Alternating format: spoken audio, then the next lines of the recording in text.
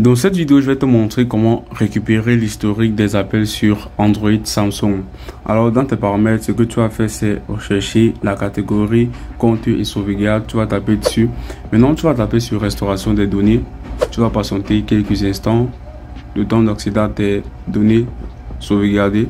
Maintenant, tu vas taper sur ton téléphone. Tu vas taper dessus. Maintenant, ce que tu veux faire, c'est tout simplement, je te choisis journaux. Tu vas taper sur journaux et en tapant sur restaurer tout en bas, tu auras donc récupéré l'historique de tes appels sur ton téléphone Android Samsung. C'est aussi simple que ça.